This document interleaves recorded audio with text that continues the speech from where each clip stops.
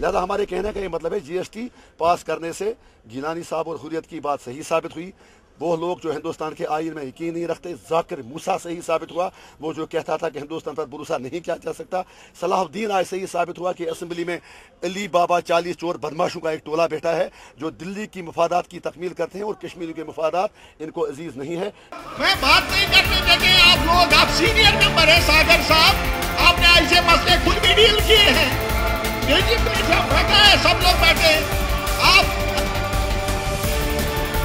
MLA युवा का जो क्वेश्चन है वो उसको क्लब किया जाता है। क्वेश्चन नंबर मिस्टर मोहम्मद और जो इन्होंने दूसरी बात बताया कि आर्टिकल 370 को ज़्यादा पॉजिटिव और कंस्ट्रक्टिव बनाना है तो ये बिल्कुल बीजेपी की वो लैंग्वेज है।